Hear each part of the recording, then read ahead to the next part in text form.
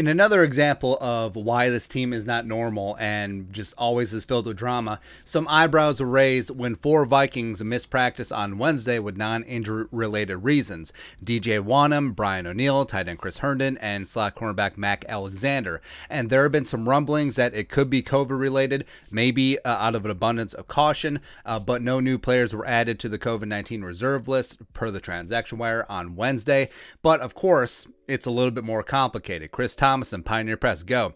Viking starting defensive end DJ Wonnum on Wednesday tested positive for COVID 19 and then later in the day tested negative, a source said. Later on Wednesday, according to a K. Case, just say Doogie also spelled KSTP, right? Uh, right tackle Brian O'Neill also tested positive during the day and then tested negative.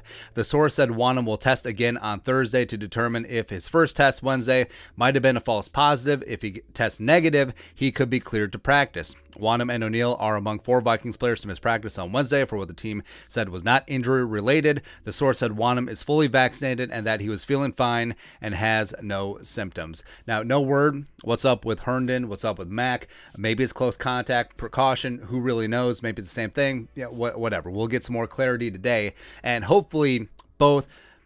O'Neill and Wonnum and whatever's going on with Herndon and Mac. Hopefully everything is negative and all of them feel good for the Packers because if DJ Wonnum misses, that edge rusher room is a mess. It's Everson, Patrick Jones, Cheeseburger Eddie Yarbrough, who's not even on this graphic because this is updated last week, but mm. and also Nate Orchard on the practice squad because Willekes is still on the COVID nineteen reserve list. And if Brian O'Neill misses, uh, well, beyond losing your best offensive lineman when the Packers are coming in, even though their edge rushers are banged up too, uh, probably it's going to be Blake Brandel stepping in a right tackle, or it could be a Yankee swap of Brandel in a right guard, Oli Udoh back out to his natural right tackle position. Who knows? Uh, who, who really knows? But either way, just hope, please, nothing weird, all negative. Hopefully, uh, the first ones were false positives and whatnot, and hopefully they're back at practice and everyone's healthy and good to go.